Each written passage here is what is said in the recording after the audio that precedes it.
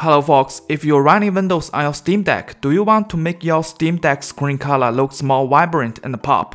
If your answer is yes, then you have come to the right place. And you guys can see on the right side of this video, the Steam Deck screen color just looks better compared to the one on the left. In this video, I will show you guys how to make this happen on your Steam Deck step by step. The level of screen color will be adjustable so you can set at your own preference. This screen color tweak is achieved by installing AMD's official software. There is no third-party software involved. Please remember to follow the exact same step as in my video, otherwise it will not function properly. By the way, if you want to make your Steam Deck screen color vibrant and pop in the Steam OS, please check out this video on the screen. Now let's make this happen on your Steam Deck.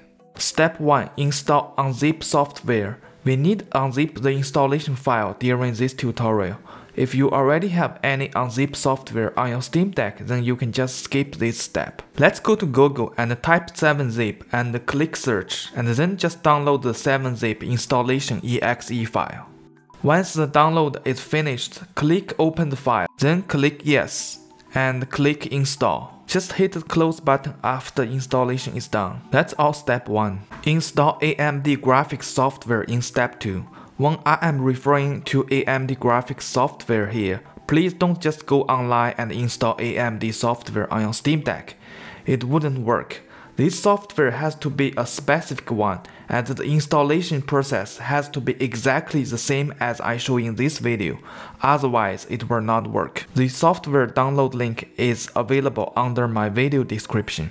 Let's scroll down the page. If you have Windows 11 on your Steam Deck, process to Windows 11 and download the AMD software version 22.5.1. Make sure you download exact the same version 22.5.1. I am using Windows 10 on my Steam Deck, so I will just go under Windows 10.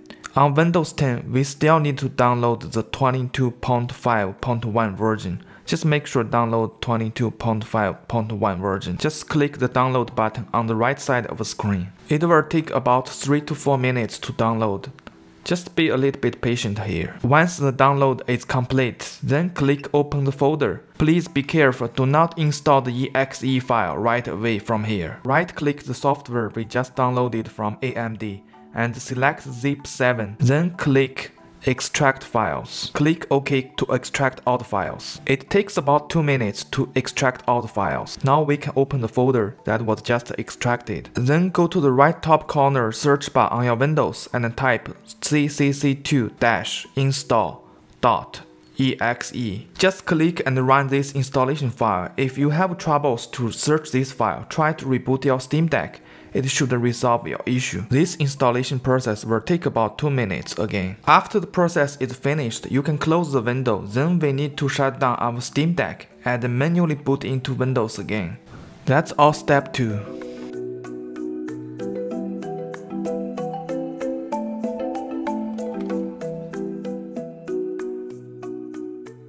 After the Steam Deck booted into the Windows again, just type AMD settings under the Windows search bar. It should bring up the AMD software we just installed in step 2.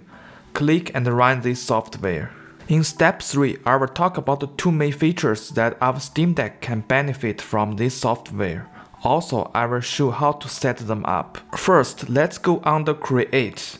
On this page, we can see the games that we have been installed on our Steam Deck. Double click on the game and we will go inside of the settings. There are two main features that can really help us play games on Steam Deck. The first one is Radeon Chill. If we have this feature unlocked, it will allow us to lock the game frame rate to a custom value so we can save some battery life by setting the FPS to a correct number. The next feature, I think it really boosts the gaming experience on the Steam Deck. That is custom color. After unlock this feature, we can boost the Steam Deck screen to a more comfortable and vibrant level by just increase the saturation. I think the saturation setting level will be weird for different people, so I am not going to give a value here, Just try to increase the value from 100 and find the one that you like the most. Just remember the feature we are setting here is just for one game. You can have individual settings for each game. Now let's move to the right top corner, click the setting icon and then click display. You can unlock the custom color feature for overall device here. This is the Steam Deck screen color, so once you change the saturation here, it will apply to the default screen saturation. I would consider this for no gaming mode screen color setting. As you guys can see, while I increase the saturation here, my desktop wallpaper color changes. That's pretty much all for this video. Please let me know under the comment below what's your best saturation setting. Please don't forget hit the like button or subscribe to the channel. Thanks for watching.